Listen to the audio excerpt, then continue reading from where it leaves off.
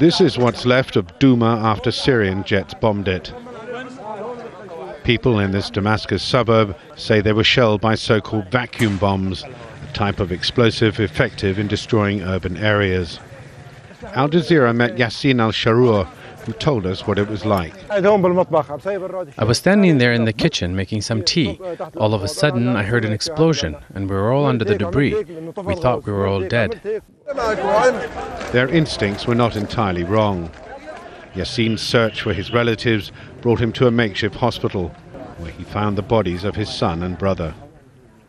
Nearby, the town's central automated bakery is in rubble. After a two-month hiatus, bakeries in Douma are again falling target to the Syrian forces. Without a source for their daily bread, the people will suffer more. In the first raid, the jet fighter poured down on us with heavy machine gun. In the second raid, it dropped the rocket you see there. There are no armed rebels among us here. As this state of chaos becomes a daily reality, Syrians say they no longer count their dead, but instead those who survived.